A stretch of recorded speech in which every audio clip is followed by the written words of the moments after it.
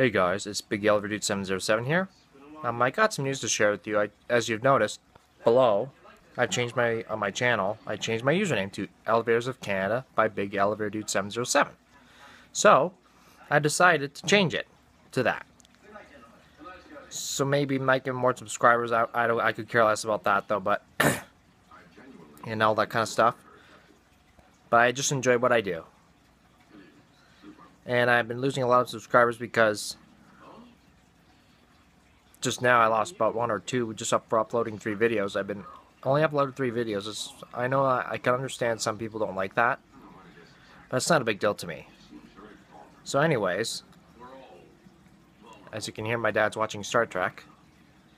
But anyways, I'm making more elevator indicator animation videos. I have several to upload, but I upload them from time to time and take my time with them indicator animations, obviously. Because I don't have a program to uh, make a full animated video. But I know I have Microsoft PowerPoint, though, but I don't know how to make it come live. Alive, I mean.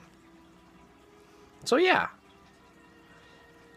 I also might do some elevators tomorrow, film some elevators tomorrow, but I'm not too sure where, though. I have to think about that. So anyways, that's pretty much it. Thanks for watching. I'll see you later. Oh, don't forget to subscribe, comment, and rate. Thank you very much. I'll see you later.